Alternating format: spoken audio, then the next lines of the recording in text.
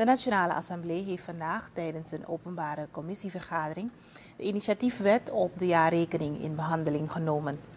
De initiatiefwet is in mei ingediend en de initiatiefnemers zijn de assembleeleden Jennifer Simons, Melvin Bouva, Stefan Sang, Celsius Waterberg en André Misikaba. Volgens commissievoorzitter Amstad Abdul is deze wet nodig voor het bevorderen van transparantie van het overheidsbeleid. Hij benadrukt dat voor elke organisatie, ook een eenmansbedrijf, het opstellen van een jaarrekening essentieel is. Abdul zegt verder dat wij als land vergeleken met anderen met een nog kleinere bevolking laat zijn met een wet op de jaarrekening.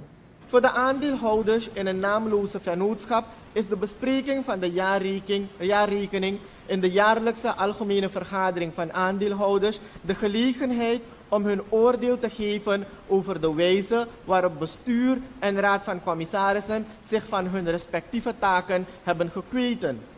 Ook bestuurders en commissarissen hebben belang bij financiële informatie.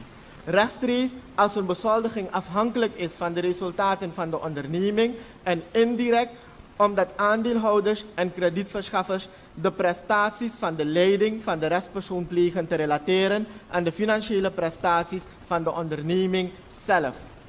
Al deze gebruikers van financiële informatie hebben behoefte aan stukken die zijn opgesteld volgens objectieve en algemeen aanvaarde normen.